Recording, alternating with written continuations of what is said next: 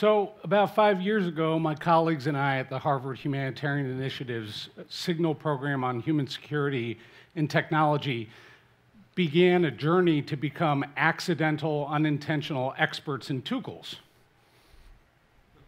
Well, I'm glad you asked. What is a tukul? well, this is a tukul. They are mud, dung, thatch huts. They come in all sorts of shapes and sizes. This one has a conical roof. It's circular and it lives in South Sudan.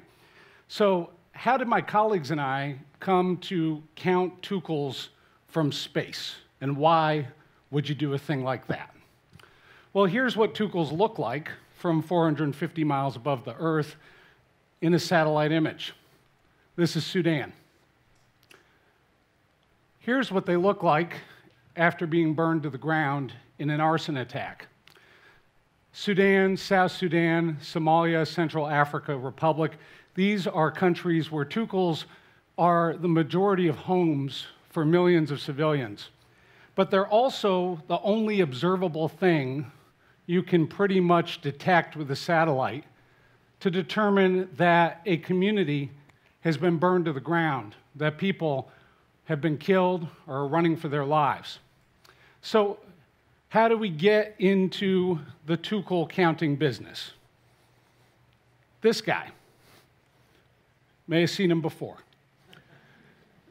In 2010, George Clooney asked the Harvard Humanitarian Initiative, me and my team, to design and operate the first civil society high resolution satellite surveillance program to detect and document threats to civilians in real time at a real critical moment for South Sudan, and, which was just becoming a country, and Sudan. So, what did we find? Well, what we found in this project called the Satellite Sentinel Project is we were able to detect attacks about to be launched against communities. We were able to document the destruction, the looting of humanitarian facilities. And sadly, we were able to collect evidence of the intentional creation of mass graves after the reported mass killing of civilians in the summer of 2011. Now, the possibilities of this technology are obvious, but what my colleagues and I at the Harvard Humanitarian Initiative learned during the Satellite Sentinel project is we don't know how these technologies are affecting the security of the civilians we're trying to assist on the ground. We don't yet know how they may be changing the behavior of armed actors. And this isn't just about satellites over Sudan, it, it's about information communication technologies becoming an increasingly standard component of domestic and international response to crises. But we got technology, but there's some things we don't have. We don't have an ethics code for how to make sure we're doing this type of work safely, ethically. We don't have accepted methods that have been tested scientifically and proven. And we also don't have systems that have been specifically designed for these challenging and dangerous environments to make sure that we're doing this work safely and securely. So that's why in 2012 we founded this thing, the Signal Program on Human Security and Technology, because we realized that increasingly those who are using information communication technologies in response are working without a net. And so this next week, you guessed it, we're releasing the first satellite imagery interpretation guide, the how to, the dummy's guide to tukul identification. And we show things like standard shadow patterns, so you can tell that you're looking at a tukul. and we give examples of what these communities look like at each stage of an attack. But now for the big reveal.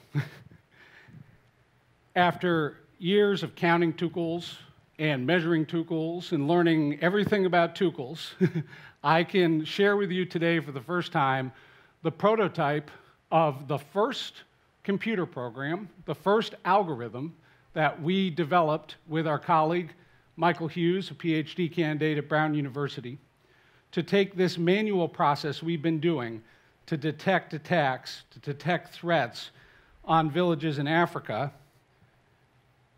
and we automated it. The Tukul detector takes a process that can be days, sometimes hours, in many cases, and turn it into seconds. The Tukul detector is LoJack for villages in Africa. We can now speed the decision making chain exponentially. What I want to leave you with today, though, while this is exciting,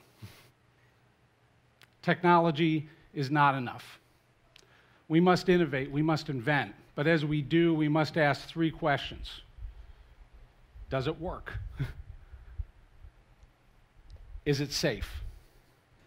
And is it ethical? Paul Simon was right when he said on the Graceland album, I believe in 1985, 1986, that these are the days of miracle and wonder, so don't cry, baby, don't cry. While that may be true, Elizabeth Bishop, the American poet, also said bright objects hypnotize the mind.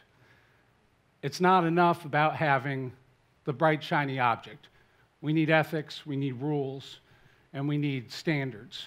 The people we're trying to assist at home and abroad, well, they deserve nothing less. Thank you.